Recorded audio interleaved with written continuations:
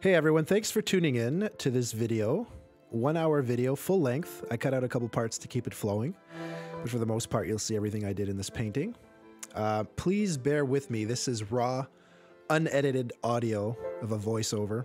So, like I said, bear with me because it's a lot of work to edit a voiceover, a video, cut out all the ums and ahs and all that stuff. So, let's proceed. So, this is the second of four pieces that I did for a realtor. They were commission jobs. His client purchased four condo buildings, and uh, these paintings were the gift that the um, the realtor gifted to the buyer, his client, and. Uh, sorry, these are going in the lobbies of the condos, the four paintings. So this is the second one uh, of the four. So okay, so in this case, or okay, let's just start talking about the first what I'm doing right now. So what I'm doing right now is just it's called there's a couple different terminologies for it. The underpainting is probably the most common one. I refer to them as layers. It doesn't really matter. It's the first layer. It's the underpainting. It's just to get some paint on the canvas to block it in. Um, so as much as this stage, it, it doesn't really it doesn't really matter. It, it'll still kind of show through in terms of like what pattern you're going for.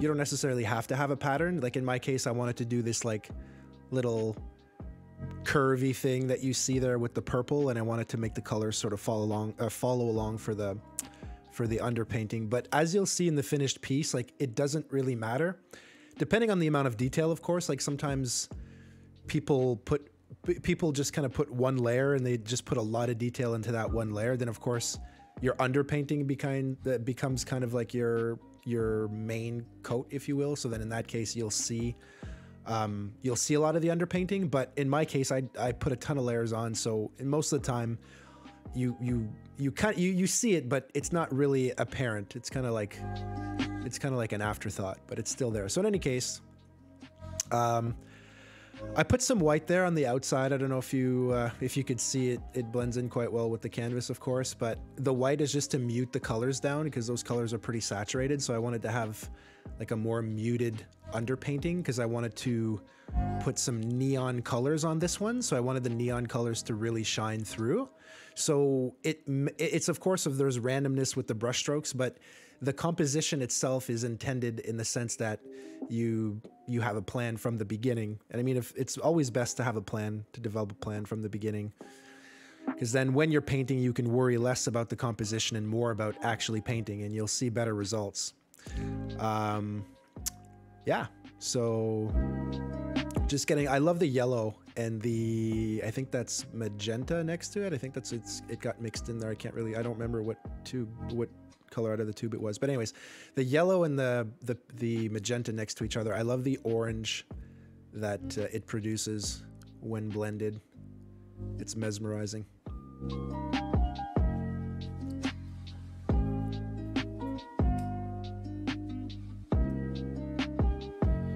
All right, so like I'm not sure if I told you guys, I'm not going to be talking the whole time. There's music in the background also. So there's no mic issues or there's no audio issues if I stopped talking.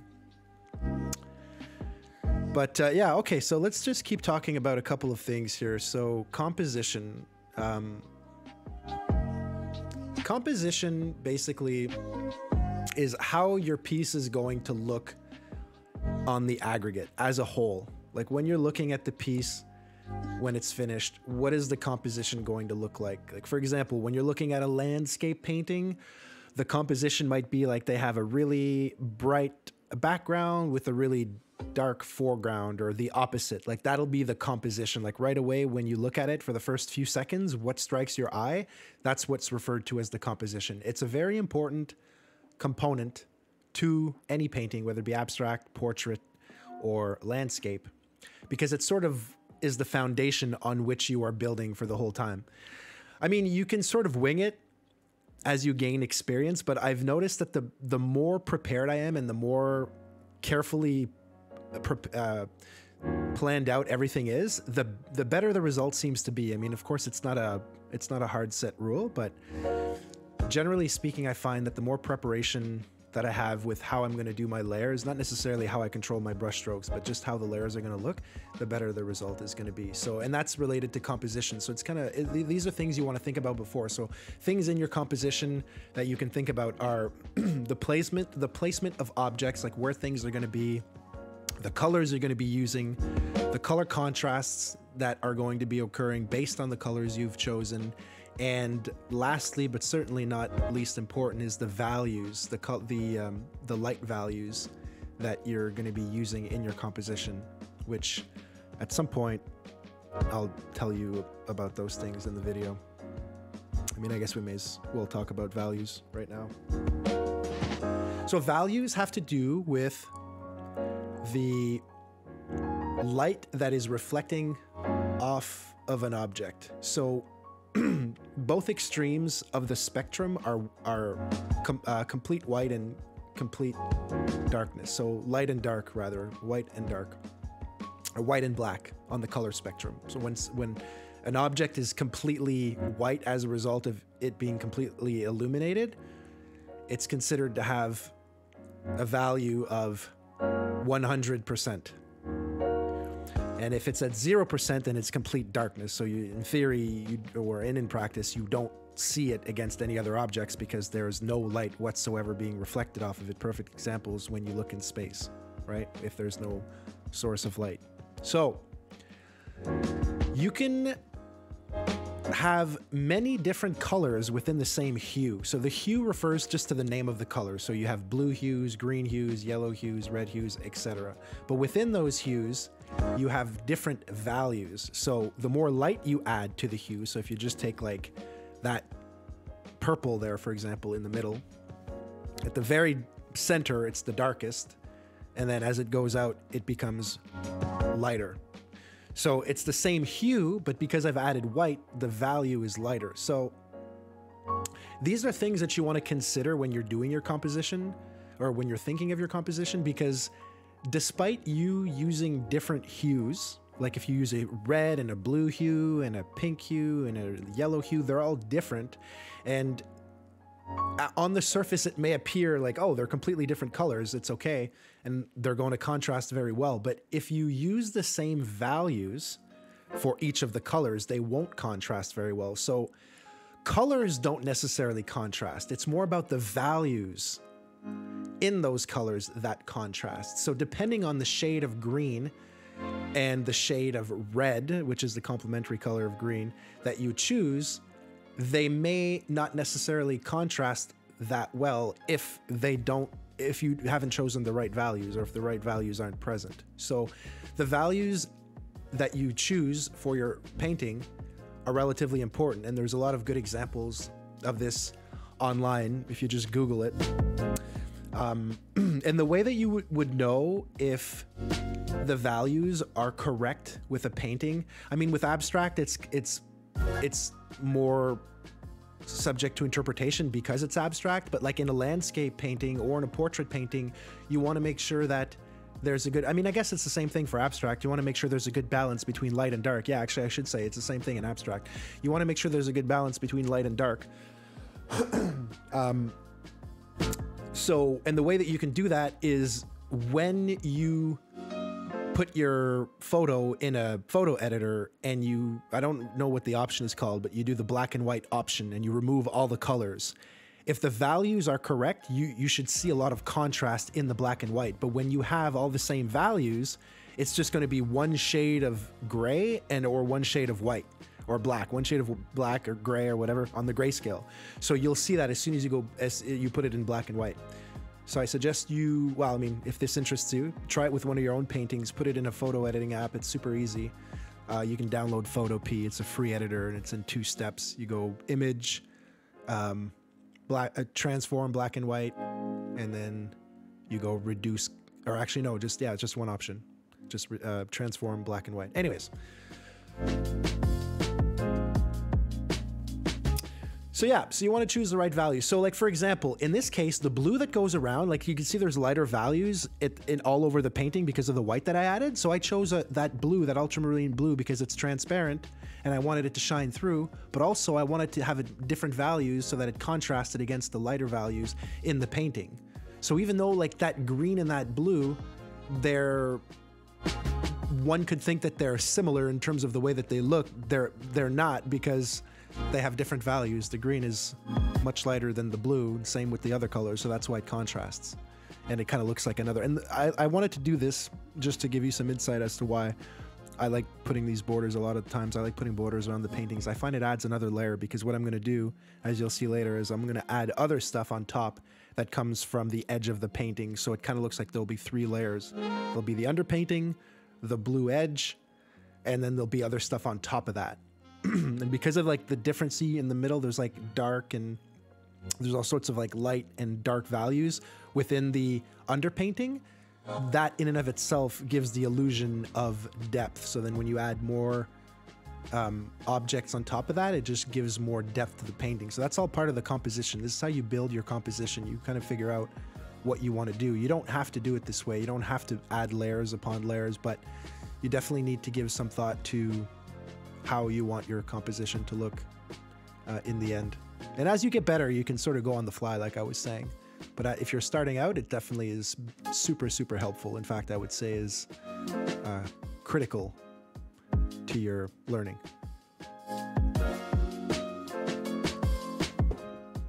So there I'm just adding more blue just to darken the very edge of the painting, just to give it the illusion of contour or contouring on the edge there, just more depth. So the one thing about abstract that I notice a lot online is that I, I find a lot of I find people don't invest much time into it and they kind of get disappointed or discouraged very quickly.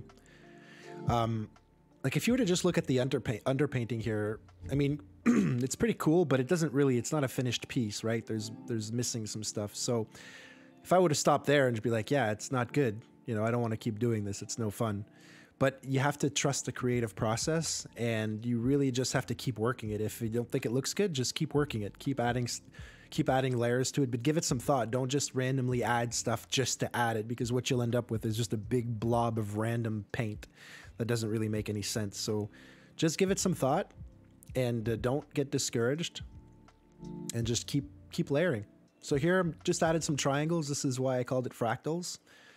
Everything is kind of random in the in the sense that they're not the triangles aren't symmetrical uh, symmetrical. I can't remember what the if you know what the terminology without googling it you can't cheat. No no cheating no googling.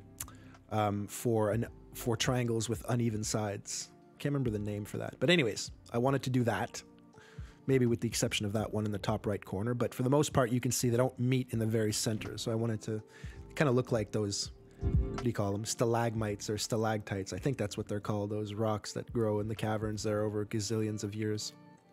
So those are, I believe, I'm not sure if they're all neon colors, but oh no, they're not. Actually, that's emerald green. Yeah, that's not uh, that's not a neon color. But in any case, they'll be added at some point, or some of them have already been added. The yellow over there, but yeah. So just working the paint in the canvas here, taking my time, getting rid of those brush strokes. I'm, this is called glazing, okay? So that's another element. That's something I like to do personally, and I, I made a quick reel on Instagram about that. Glazing. So glazing is the act of putting thin layers of paint on a canvas so that the layer beneath it shows through. But further to that point, there are colors that are more transparent than others. Uh, and don't be deceived in thinking light colors are transparent and dark colors are opaque. In fact, ironically, a lot of dark colors are transparent, a lot of light colors are opaque. So make sure you read the label, but also brand different brands of paint will be will have different levels of opacity. Is it yeah opacity depending on the color and all sorts of things. So just check the tube, play around with it. But there should be an indicator on the tube that tells you whether or not it's transparent or semi-opaque or opaque. But for the glazing process of these triangles, the fractals, I took all transparent colors. So because I something I like doing, I've gotten to know these transparent colors very well. So I, so I, I kind of I know how they interact with one another. So I, I chose specific colors for specific areas of the painting based on what colors were present in the underpainting, right? So um, yeah, those are all transparent colors. Like you've got emerald green there, you've got a crimson red, you've got uh, neon yellow, and then a brilliant magenta, and then that there I think is orange or neon orange. It's one of the two. I think it's just regular orange. Either way, I use all the transparent colors. So the transparency of the paint is not something that the manufacturers decide willingly. That's something that the pigment in nature that they use for the color decides. So depending on the pigment that they use and actually the quality of the paint also. Um, so the pigment will determine how transparent or opaque it is. So it's completely random. They don't strategically decide to make one more transparent than the other. So it is what it is in that sense. But from what I've found, there's quite a large range of colors that are transparent. There are some that aren't. Like there's no, I don't, there are no browns. I haven't seen any browns that are transparent.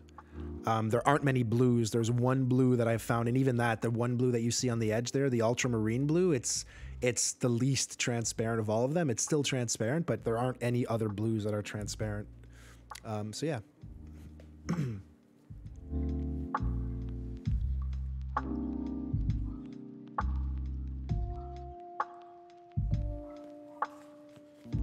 Just getting some triangles on there, having some fun with it.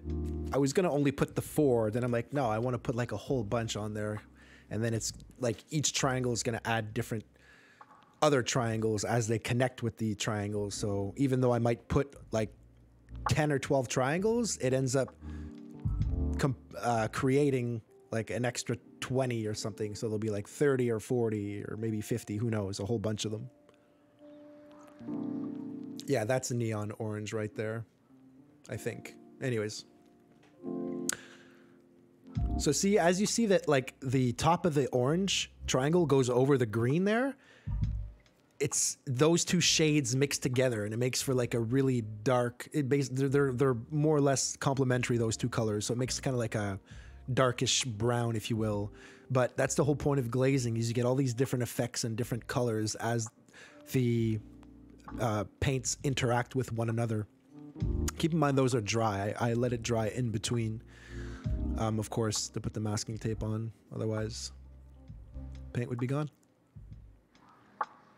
there's another yellow. Not a lot of yellows too. There's only, I think, deep yellow. I think is a deep yellow in the brand that I use anyways. Not many yellows that are transparent. Oh no, that's vermilion. That's what that color is. That's vermilion and the other color is orange. Yeah, they kind of look similar, but vermilion's a little bit darker.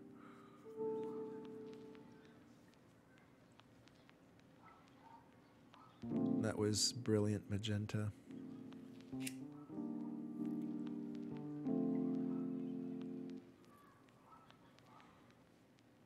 Pretty cool. All right, so I think we got one more layer. Yeah, that's the neon orange right there. All right, that's right. I finished it off with the neon colors. That's right. Yeah, this is the last layer of triangles here. Fractals.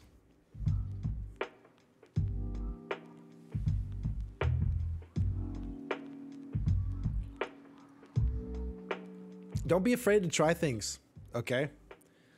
Um, there's one thing I learned that painting, a lot of people don't give themselves enough credit for. Here's the thing like, innately, some people are more creative than others, but creativity is definitely a, um, a, a quality or talent or competency, whatever you want to call it, um, a trait. I guess it's a trait that can be worked on, like micro habits, right? So if you think you're not creative, well, the first thing I would say is reframe that mindset. If you want to be creative, that is, if you want to be. I mean, if you have no interest in being creative, then you know not only are you not you don't want to be creative, so there's no point exp- exploring that option. But if you want to be creative, don't don't um, sell yourself short of having the ability to work on micro habits that allow that creativity to be developed within you. Um, because if you don't try anything, you know, when you're painting or anything else, or anything else for that matter, you're never going to really discover what you're capable of. So you really have to push things to the edge and try things. A lot of the times I find when people are painting, they're afraid to try things like, oh, I don't want to use too much color, or I don't want to try this technique, or try, just try things. And worst case scenario, if your painting isn't to your liking, well, then you can learn something for the future. I mean, I started painting what's today? November 2nd, 2021. I started painting in May or June of this year. Like I had painted a couple times landscape before and I hated it. I don't like painting landscape. I don't like the restrictions they offer. I don't like the predictability. Don't get me wrong, painting landscape is absolutely it's a uh, they're beautiful. I love looking at them. I appreciate them as arts of work. I just don't have the patience. If you look at the way that I paint with the colors that I use, I, am sure you can already tell I'm cert- most certainly not suited for landscape um, art because in landscapes everything is grayed down, and I like bright colors. So I would not do well using. Well, I mean, I, I could do it, but I wouldn't enjoy it. So, anyways, I tried landscape, didn't really like it. I stopped and then in May, I discovered uh, John Beckley, a amazing French artist um, who I had the pleasure of speaking with actually recently on Zoom. Um, I discovered him, and then I saw, oh my God, abstract art can be something that I enjoy. I think, and then I started it. I started doing it, and I just became addicted to how freeing it was, and how the fact that you can literally do anything you want. So, but the point of this is that if you look to my first painting in May, which I should probably include it in this video. It's just dreadful. Like it's just there's there's no it's like but but it doesn't matter. It's just it's never perfect. It's never that's the thing. That's why art is so unforgiving. It's because beauty is subjective. So really you're striving to reach an ideal that in theory is not actually possible. So unless you just appreciate where you're at and your journey of learning, then it's very hard to overcome that feeling. Um, that kind of brings me to something else I want to talk about. That this other al- uh, artist, I think his name is like, I don't. I've just started following him recently. He's a portrait artist, phenomenal oil painter, Alpa Fay or Alpha Pay or something. I think he's German. I'm not sure. Apologies if you're not German. Comment below. Um, but this guy talks about the gap, which is where I feel like I'm at. The gap is a point in time that you reach as an artist where you've become good enough to see the imperfections in your work and good enough to see the perfection in other people's work that are perceivably much better than you. And it's very difficult to stomach. And a lot of times it kind of makes you want to quit because you're in the gap. Because when you're such a newbie that you're not even in the gap yet, you can't even appreciate how much better these people are than you because you don't even know what it takes to make a good composition. But when you do understand and you see how well these people apply these rules and how good they are and how well versed they are in their craft, it, it's a very, very it can be a terrible feeling and I can relate. I it's I look at artists on Instagram and I just I want to quit every day I look at them. It's just like I can't believe what people's hands are capable of. Um so if you're in the gap, I mean, it's kind of hard. I can't. There's no easy solution to say, but I guess the best advice would be just keep pressing forward, one painting at a time, and surely you improve every single time your brush hits the canvas, just like anything else in life. The more time you put into something, the better the results are going to be in the long term until you become an expert. But again, an expert in this area is subjective. So, so yeah, so that actually the perfect segue here. This section, this little triangle thing, last fractal. I'm actually quite disappointed in myself. I don't know what you guys think about it. Be honest with me. No holds barred. You can roast me in the comments. Um, I didn't intend it to be. The thing is, because I couldn't see the underpainting, I just lost sight of what I wanted to do was to just add another fractal in the center. And I just added too much glaze to a degree that you can clearly see has become too dark. Um, and then so on the edge here, what I'm doing is I'm just creating what looks like a shadow. So it, it, it looks like this piece breaks away from the rest. But because there's too much darkness in the center, I mean, I don't know if your eyes see the same thing. You, you can't see it until I take the tape off, but there just isn't enough contrast between the edge that I'm painting now and the middle because it's just as dark as the edge almost. Um, so yeah, I just spent too much time on the glaze in the center. I that's just my person. You know, who cares? Doesn't matter. There's a building that's going on top of this anyways. You're hardly going to see it, but um, yeah. So it just goes to show, you know, sometimes, sometimes you can't can't you can't be happy about everything that you do when it comes to art. Sometimes you're gonna wish you did this better or that better or so on and so forth.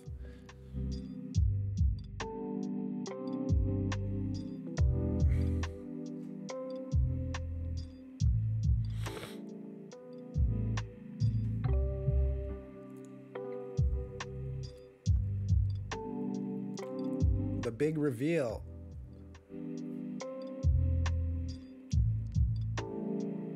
Yeah, see there in the center, it's I mean, whatever, it's not the end of the world. You can still see the glaze, obviously, but the colors that are underneath aren't as apparent. All right, so this is the, uh, this was the, uh, this was long. This was really, this was a lot of work, but, you know, sure enough, the client said he enjoyed this part the most. And that would make sense given the exchange of labor that occurred. Nothing good comes easy, as they say. So this is a stencil that I bought that I had used for other things. I kind of like bricks. I really like the effects or the effect that bricks give on paintings. In this case, I used a palette knife and I put a really, as you can see there, that's why I zoomed in. I wanted you to see just how much paint I'm using. I used a lot of paint. Like you can see that big blob of paint on the plate. I used probably 10 times that amount, like way, way more. I didn't realize just how much paint this would use, but it's really worth it if you're, you know, if you're specifically painting bricks because as the water evaporates from the acrylic, the um, mass reduces, I guess. Yeah, the mass and the volume that, or the space, I should say, that the bricks occupy reduces so they become smaller. All this to say they become smaller over time. So you want to but you, you can't use too much because if you use too much it'll they can like topple over and like you know they can not they can become not bricks and just a big blob of paint which occurred a couple of times here. It's a very delicate balance it happened a couple of times in this painting so i had to stop the recording and fix everything wipe it off that's the cool thing about i mean i guess well oils i haven't really worked with oils or not really i haven't worked with oils at all but even though acrylics are notorious for drying fast, if you use the right amount of paint, like, cause I find a lot of people don't use enough paint, like way too thin. If you use way too thin a layer, it dries pretty quickly and it's tough to remove. But when you use enough paint, like you have a solid five to 10 minutes to like completely wipe it off. If you take a paper towel and you, you know, you have to spend three or five, three to five minutes to carefully wipe everything off, but it's possible. So you know, you can always do the undo button even with acrylics that dry quickly. But you don't have that much time. You don't have like 15, 20 minutes. That's pushing it. Yeah, just happily going along here, putting my bricks down. Master bricklayer. I got two shades there on the plate. I used raw umber and I think it was burnt sienna and some white. I think to mat it down or mute it rather, to mute the colors a bit. Um, so yeah, you got two different shades and I'm just randomly creating patterns of different colored bricks. And I mean, I'm pretty sure you can see there the, the, oh yeah, I guess I should talk about the the preparation part. Yeah that's a good angle there the zoom in. You can see all the windows you can see the awning of the door you can see the door all the top of the building. Everything is stenciled out very carefully the proportions. I spent a lot of time stencil um, not stenciling uh, sketching sketching the building. Proportions are super important. Um, the size of the objects with relation in relation to one another and I guess yeah, like, we could talk about that. So it's pretty interesting. I learned this from this other this guy that I was telling you about, Al Pafay, or I, I, keep I don't know what is. I should just look at it. Anyways, uh, it talks about realism and where the illusion of realism comes from in terms of like when we look at a painting or something that's uh, presented to you in an abstract way that's me- that's meant to represent something that you look at in real life. Like for example, what I'm doing right now, the building. Okay, so realism doesn't come. A lot of people think that in art, realism comes from detail, when in fact, I learned this from this Fey guy that realism doesn't come from detail. Realism comes from proportions and values, light values. So as long as you have the right proportions, like for example, if you take a face or like a face would be the easiest example to relate to, right? As long as the nose is proportion uh, well proportioned to the eyes, to the forehead, to the chin, to the cheeks, to everything, as long as that's the case, what shade of color or what hue the nose actually is doesn't or no sorry the as long as the, the proportions are are correct you can tell that it's a nose, right? But then to add to the realism, if you want to add depth to that, that'll just show you a two dimensional face, right? Like, okay, great. I know that this is a face when it's sketched out and the proportions are correct, but it doesn't show you the depth, right? The illusion of depth. The illusion of depth comes from the values that you use, the light and dark values, which the artist will represent sometimes using different colors, which sometimes you'll see these like bright, beautiful portrait paintings which you ask yourself, how was this artist able to represent a face using greens and blues and pinks? It's because they're using the right values. So in areas of the face that's dark, where there's a lot of shading and, and a shadow, for example, they'll use a,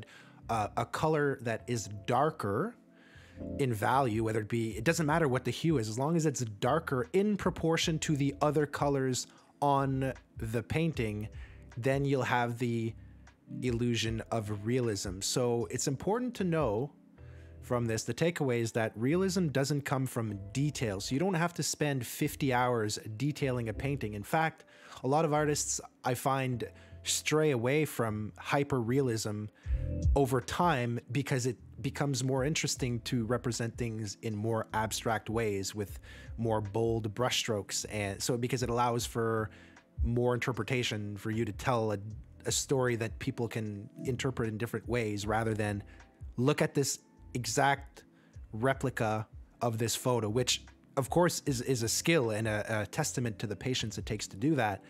But in terms of the liberty that it provides when you're creating, it doesn't provide any. But when you push the envelope and try to use these different colors or more bold brushstrokes, you can still convey realism while not focusing on detail, while just making sure proportions are correct and values are correct. So the way that this relates to this building is my values are correct in terms of, okay, those look like brick colors. I've got two shades of them, so it kind of looks like there's, you know, two, there's basically light hitting them at different angles, or of course, sometimes colors are different bricks, but it doesn't matter. When your eyes look at those, you can see, okay, there's different colors. That's something I've already seen before. They look like bricks, right? And the other thing is the proportion. So in relation to one another, they're all um, they're all level, right? And they're all perfectly in line with one another. Now, the comparison here with the face is that let's say that one of just one of the rows of these bricks was off. It wasn't level, it was off center, it doesn't matter. Right away, it would distort the whole image and the the more mistakes quote unquote you will uh, if you will that you make in this sense, the less accurate your representation is. But when you look at the detail on these bricks, there aren't any details. It's there's no detail whatsoever. They're just blobs of paint in a stencil, right? So again, you can the point is proven that realism doesn't come from detail in this painting because you'll still be able to clearly see this is a brick building after and you'll see there'll be windows there'll be a door there'll be window sills there'll be all sorts of elements that you can see that have absolutely no detail but the proportions are correct and the values are correct so um, yeah, as long as those things are present, you can convey realism. And then I think, again, it's important to understand that because it really allows you to take your art to the next level because you can create so much more freely because people are just so stuck on detail and they always think, oh no, I can't do X, Y, or Z in art because it requires so much detail and it would take me a thousand hours to complete.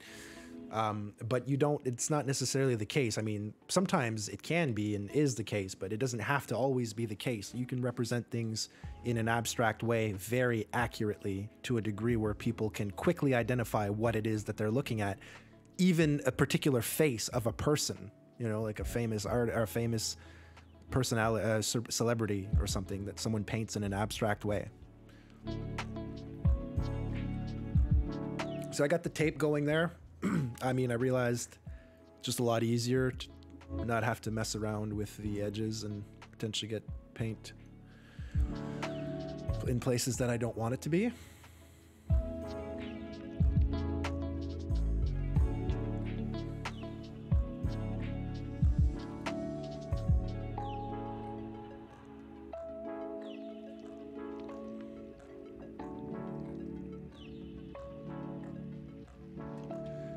So I'm just using the roll of tape there to hold the stencil down. Sure you figured that out.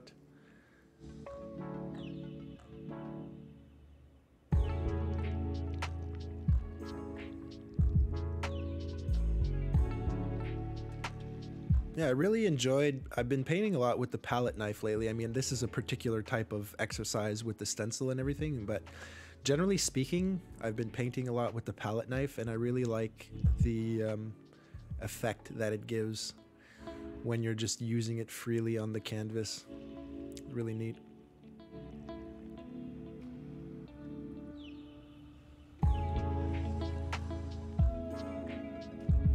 Yeah, so I think I sped this clip up to like, I think it was, uh, yeah, it's a thousand percent. So how long do the bricks here? It's like what? Plus, there's a lot of cut footage. I'm just trying to figure out how much I spent. I, I don't know how, how much I spent on how much time I spent on that, but it was very time consuming. It took a lot a lot longer than I thought it would, but in the end, like I said, it was definitely worth it. In fact, the fourth piece I did, this is two of four. The fourth piece I did, which I just completed a couple days ago and is being delivered to the client tomorrow. Um, I also did the same thing because he asked specifically for bricks. Actually, that it's funny. I, I made a play on the, the brick request. I put three layers of bricks in the underpainting and uh, with the building itself. So I'll do a video on that one too at some point.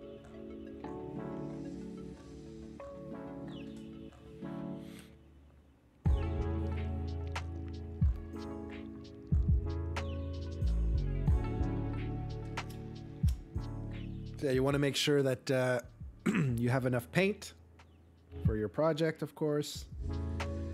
I ran out of burnt sienna, which was one of the colors I used for the bricks, as I laid the very last brick down. I remember telling the client, like, "Oh, I don't know if I'll have it done for today." Not, not that there was any particular rush, but I was telling him I'd have it done by a specific day, and uh, I said I'm not sure if I'll be done that day because I'm running low on this paint, but then I did some calculating in my mind and I thought, okay, I think I'll be okay.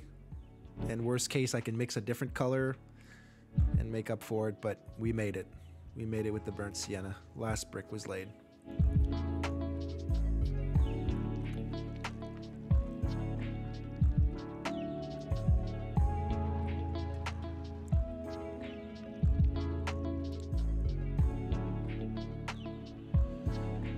So yeah, highly suggest you uh, try abstract. I mean, I'm assuming if you're still watching the video here, you're probably interested in doing so.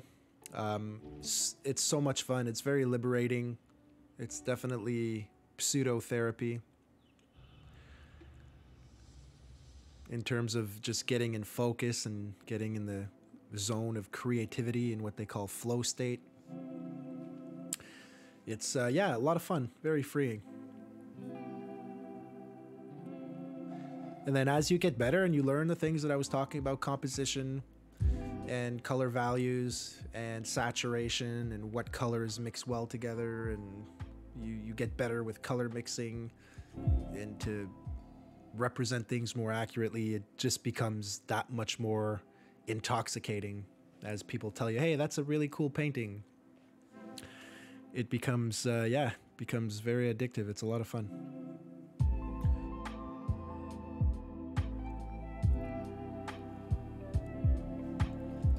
We're almost at the finish line for these brown bricks, guys.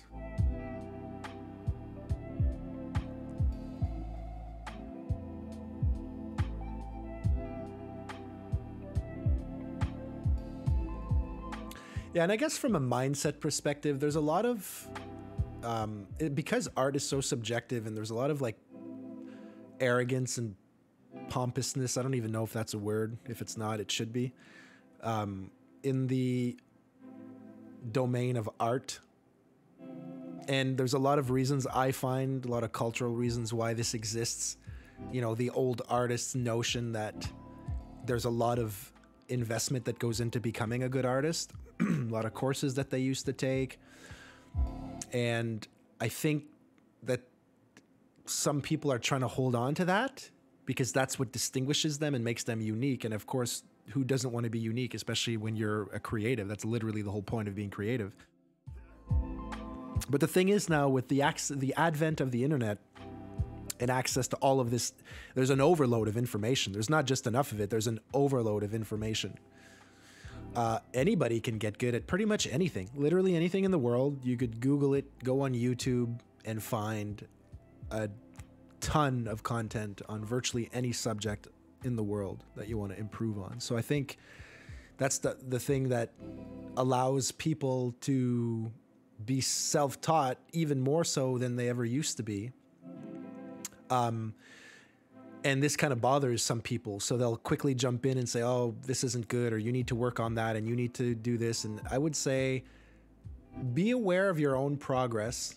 Don't delude yourself into thinking that you're better than you are, but also don't dilute yourself into thinking that you're worse than you are. Because if you're just starting something else, of course you're going to be bad at it. You're not, you know, it's all, it's not like, oh, that's really good. Keep it's no, it's bad, and it's okay that it's bad.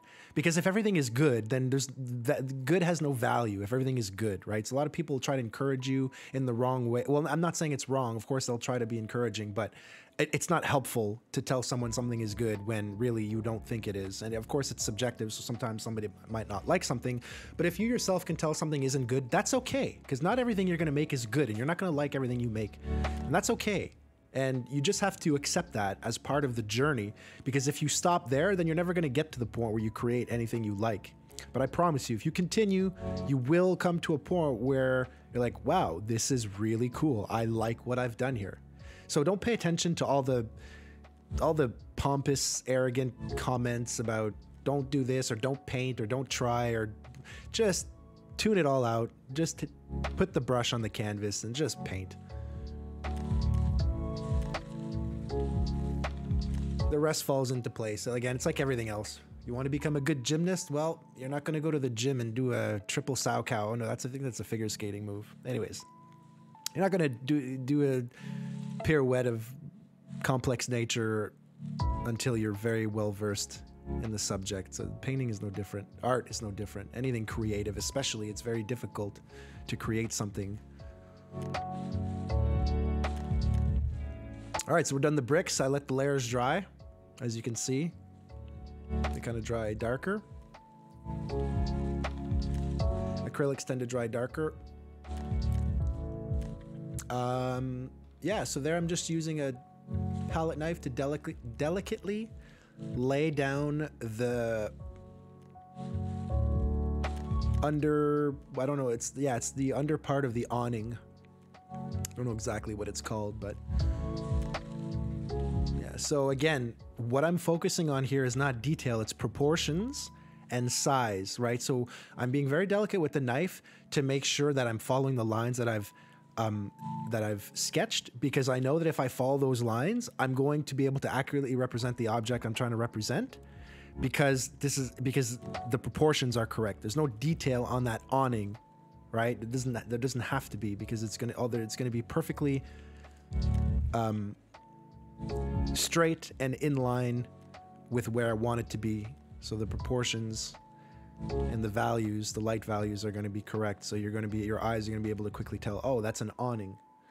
So it doesn't have to do with detail again, the realism. And yeah, there's different ways of conveying realism. That's the beauty of art is there's many different ways of conveying realism.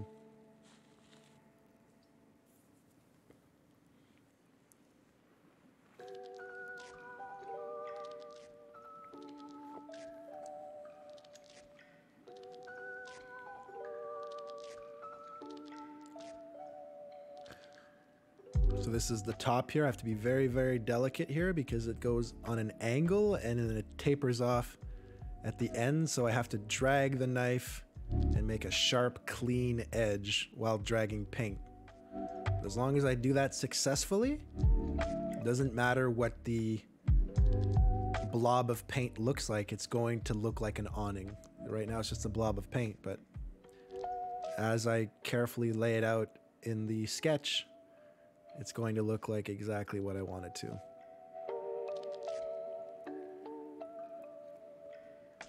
By the way, it's upside down right now. I don't know if you could tell, but yeah, the bottom is at the top. The bottom of the building's at the top. You can see there. Yeah, there you go. So now I'm doing the roof.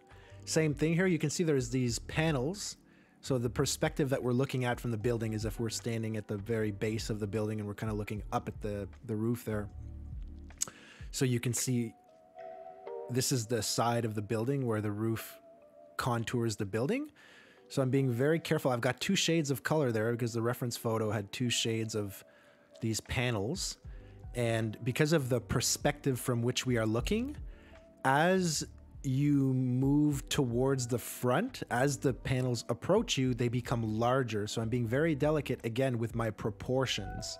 So as long as I'm using the right proportions, and in this case, the values don't even matter as much because um, it's not a face. It's not a, like values are important for for landscape, but when it comes to buildings, because well, I guess faces to be the same thing depending on where you are, if it's a brightly lit room or not brightly lit room. But anyways, the point is the the values themselves and the colors I'm using here don't matter as much as the proportions and the breakup of each piece and the size of each piece with relation to one another as you start to come forward. So that's that's where the realism comes in here. That's why I'm being very delicate with one piece being slightly larger than the next and then making a nice divide between them so that it conveys the illusion of an object that's getting closer to you or objects that are getting closer to you.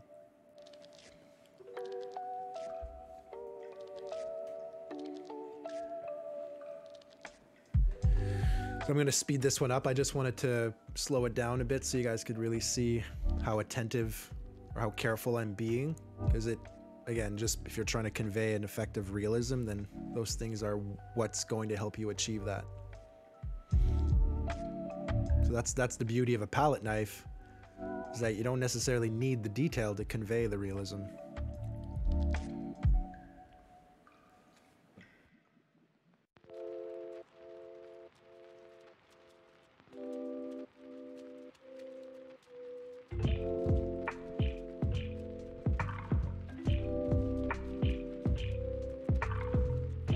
So, as much as there are no rules in abstract, I mean, in art in general, there are definitely rules, or rather, in in in composition, there are definitely rules. I'm I would say, um, I or I I would encourage you to educate yourself on composition in general because composition applies to all forms of art, photography, or basically all forms of actually no you know music too. Music you have to think about the composition as well right? Uh, the overall piece and how it sounds. So i would encourage you to educate yourself on um, composition.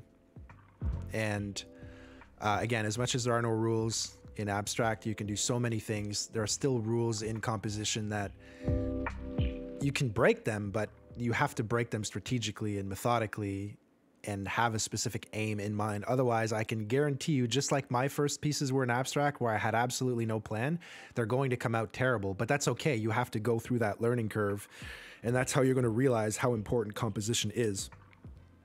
When you make a piece that's really bad and you thought you had a plan and really you didn't, you just, well, this is the best you could do at the time. It's just going, you're going to get that much better.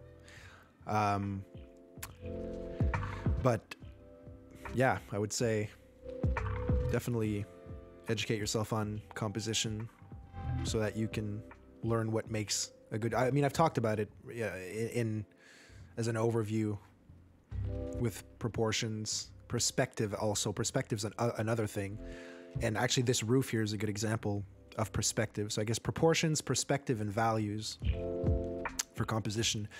The perspective that I'm looking up. So as you can see, these pieces of the panels they're angled from the very edge of the building. They're at their most sharp angle to right now in the very center they're straight because it's if you were looking if you if your body would be centered at the very base of the building in the middle and you're looking up at it so as you turn your head to look left the panels would look as if they're tilting to the left and if you as you look right the panels would look increasingly as though they're tilting to the right. So i'm being very mindful here again to convey the realism. Has nothing to do with the detail or the colors that i'm using. I could have used blues and oranges there. It wouldn't have mattered. You've never seen a blue and orange roof but you still would have known it's a roof based on the perspective that I'm showing you with the angle of each panel and being very careful that each panel, I, think you can see there from the, the two colors, that each panel looks like it's increasingly more tilted in its direction. And then you'll see at the, when I'm done laying those panels down, I'm actually going to go over it again with the knife just to even, just to more sharply define each line in between the panels. Right here, I think, yeah, just going in between and just cutting and then wiping the excess paint to get a clean cut. And then every time I apply the knife, I don't know if you can tell, but I'm, see, I'm just making sure, oh, this one's a little less tilted. Oh, just got to make sure everything is correct. And then in that case, as long as that's correct, the detail doesn't matter. It's all about perspective and proportion.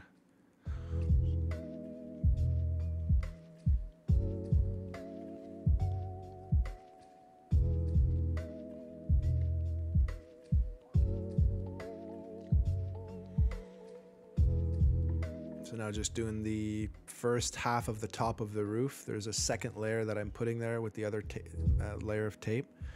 They're just two slightly different shades of gray. Um, I guess I should say it's worth mentioning that different pigments have different um, different pigments are some pigments are softer than others and more liquidy than others, even though they're supposed to be the same consistency. It's all about nature. These pigments that they use, they're either synthesized in a lab or found in nature, so they'll all behave slightly differently and interact slightly differently with your tools. So I noticed that the gray that I was using, the, the grays, generally speaking, were a lot more liquidy. So when I was laying the brick down for the um, the entrance, it wasn't, they weren't laying down as well as the brown so that's something I learned about that pigment specifically. So if it's, I know it's a particular point, but it's worth mentioning if ever you encounter something where you wonder why some pigments are a lot more fluid than others, even within the same brands.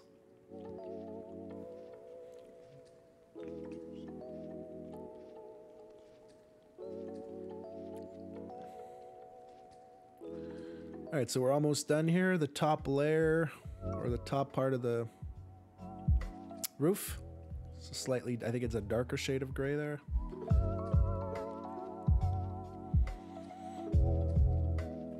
Palette knife allows for a cool, so that, actually that's one thing I want to mention about the, the palette knife. So the cool thing about a palette knife is that because of the texture that it creates with the paint, you have, you can ha actually have the illusion of different colors within the same color itself because of the texture and the light in the room reflecting off of the different surfaces within the same color. So you, you like you can see there, the, like you'll have different darker shades of gray. So it, it'll give the illusion of an uneven surface like a brick or cement or something like that. Um, so it's really cool because without mixing a different color, you'll have the semblance of different values within the same color just based on the texture that the palette knife leaves. And that's also what happens with the brick. So if you look at the brick, there's a lot of dark areas on the brick, but I used only two colors, and that's because of the relief that I've created with the palette knife. So that's one thing I wanted to mention about the palette knife. It's super cool for that reason. It really adds another element, another layer to your painting.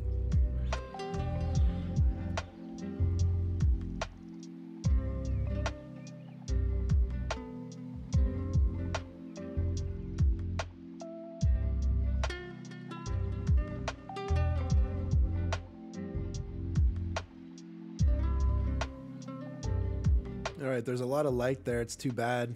I wanted to, anyways, you'll see it at some point, the effect of the roof and the panels and So right now I'm just glazing some blues on the windows.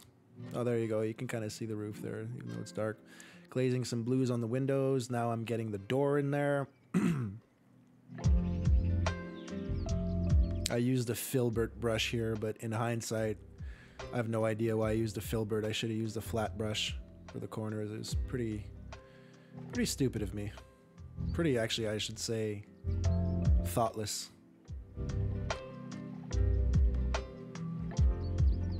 I mean, I still got it done, but in any case, should use the flat brush.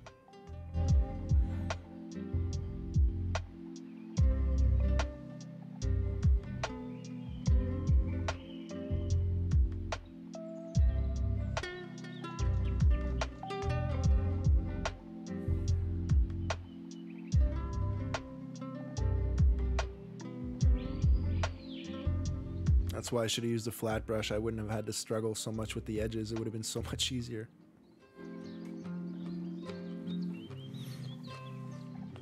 All right, so now I'm getting the plate, whatever that's called, for the address.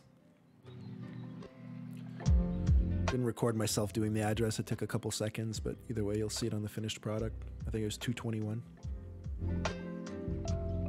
I used metallic gold for that. So there I'm just, here I'm just putting, so you can see the windows now are darker, so you can really see the roof there, how, how well it came out. You see the different shades of color. I mean, it's upside down, so, I mean, but still, you can see the different angles and the perspective. So there I'm just putting the borders of the windows in a very abstract fashion in terms of using the palette knife and you see the uneven edges. But again, when you're trying to convey realism, you don't have to focus on detail because if you focused on that detail, you'd say, I don't know what company built those windows, but I'm not buying. That's the cool thing about abstract, you know, with a palette knife. I like the character that it gives to the painting. I like the uneven edges and the the uneven lines, the crookedness, if you will. I enjoy that. I think it's nice. So, uh, if you enjoy this video, there's a couple minutes left, but if you enjoyed the video, I would appreciate if you subscribed and liked the video. Comment if you have anything to say, if you want something to be shown or talked about, or if you have any questions, if you found it helpful. Um, I'm trying to figure out the best way to deliver the content in terms of whether I should do a time lapse with a voiceover or no voiceover or full length with a voiceover. I'm not sure what people would prefer or what people would be engaged with more. Um, I just find there's not a lot of good tutorials or free tutorials for that matter for abstract specifically. So I feel like there's a need for this or these types of videos with a voiceover. Um, but yeah, comment below if you have any questions or if you'd like to see something particular.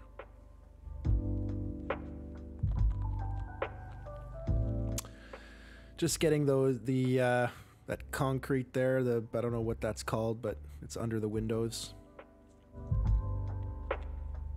Small slab of concrete.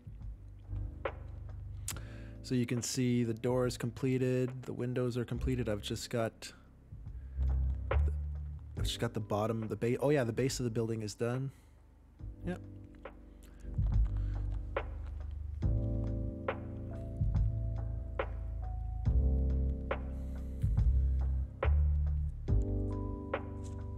Yeah, so here, this is something I like doing with my paintings. I like putting like cool borders around them, just like do different things. Sometimes they connect, sometimes they don't. You can have fun with it. Just put tape down. I use the palette knife to give the border some texture and to make it look like it's sticking out. It kind of just like, kind of looks like a mini, uh, not like a mini frame, but it kind of looks like a pseudo frame, I should say. I use that word twice in the video. Pseudo kind of looks like a frame around a painting without really having a frame. And I really like the silver against the blue and those colors and the gold too. I love those two. They're metallic silver, metallic gold. I love those two colors. I'm obsessed with metallic gold and silver. Anything shiny. I don't know why. I just can't get enough of shiny. Um,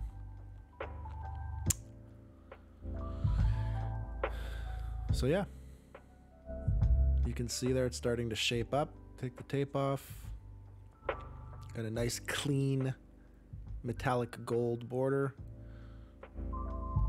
and metallic silver. And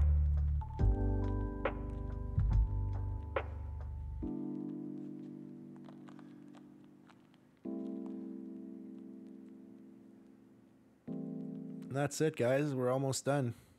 Thanks for watching. I really appreciate the support and I, I appreciate you sticking around till the end. And uh, we'll see you next time. Hopefully, you enjoyed it and found it helpful, and hopefully, it helps on your journey to becoming an improved abstract artist.